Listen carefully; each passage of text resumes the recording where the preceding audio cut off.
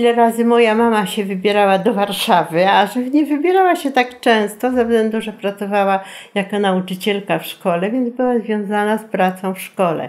Ale ponieważ moja mama była wyznania prawosławnego, to często właśnie święta, zwłaszcza wielkanocne, wypadały w innym okresie niż nasze katolickie święta i mama wtedy przyjeżdżała tutaj na te nabożeństwa postne do cerkwi na Pradze cerkiewne nabożeństwa, bardzo piękne są chóry i muzyki tam nie ma, tylko chóry, nie ma żadnych tych.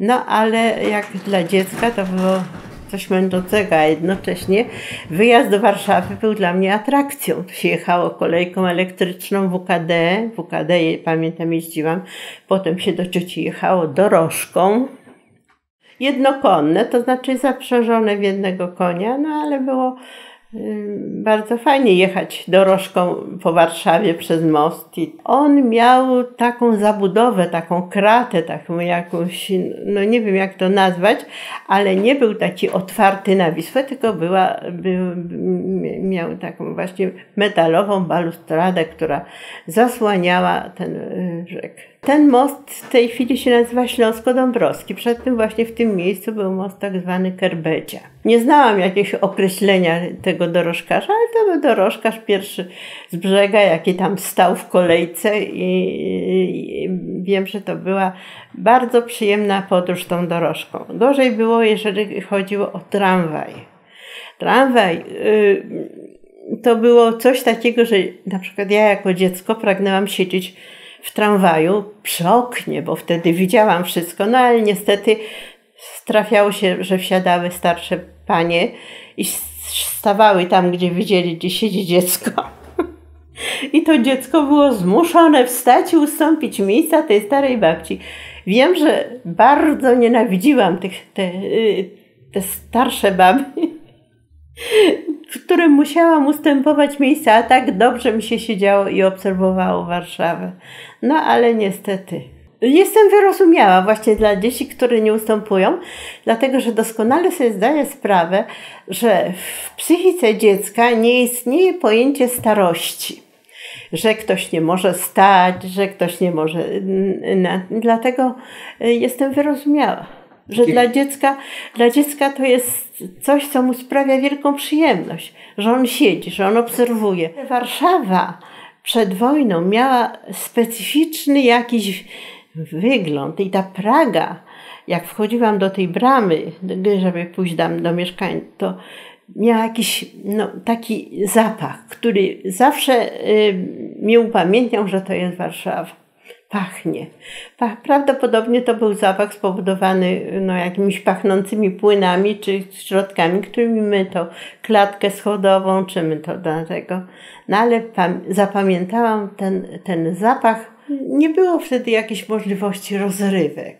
To ja nie miałam tylko jedną koleżankę, do której chodziłam Czasami całe dnie u niej przebywałam, ona miała, mieli ogród, mieli e, owoce, mieli hamak, mieli w ogóle, no było, matka jej e, też nie chciała, żeby ona miała jakieś koleżanki nie, nieznajome, nie tego, więc bardzo mnie tolerowała, więc mnie tam karmiła, żywiła, ja tam całe dnie spędzałam. Nam wystarczyły bajki, książki, które nam tam babcia opowiadała, czy, czy czytała, czy mama czytała ale nie było zapotrzebowania i na jakiś teatr, i na jakieś kino. No niestety nie miałyśmy takich wymogów. To porozmawiamy o książkach w takim razie. Ulubieni książkowi bohaterowie z dzieciństwa, tudzież książki. Więc ulubionymi moimi książkami to były bajki braci Grimm.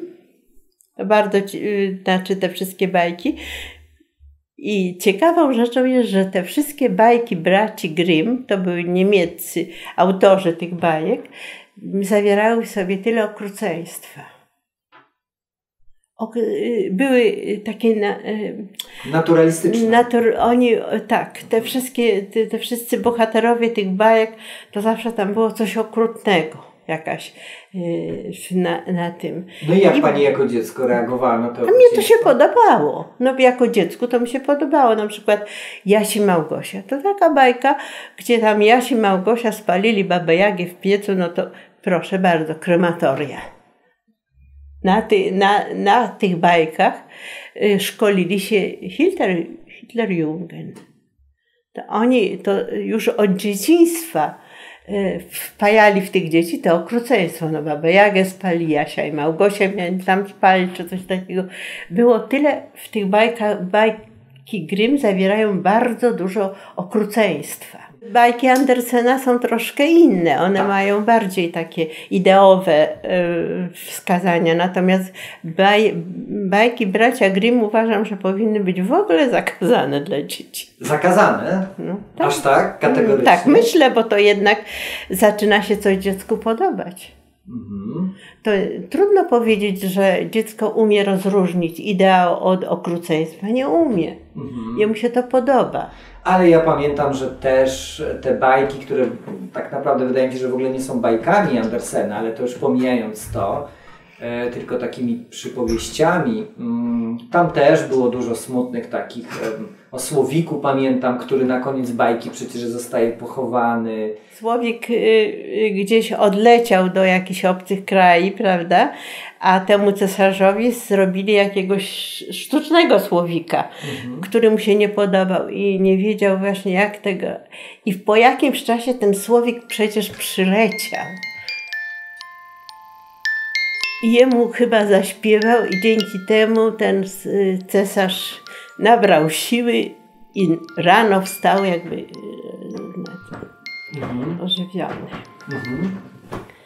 Coś takiego było. Mhm. Ja do dziś trzymam y, bajki Andersena i czasami lubię sobie poczytać.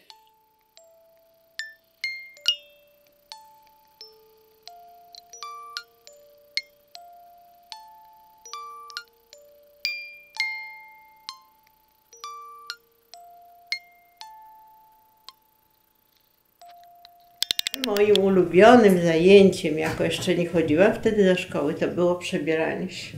Worek z, gałga, z, z jakimiś zdalnymi sukniami, z kapeluszami, z welonami, a największym moim marzeniem to było marzenie o welonie, jako dziecku.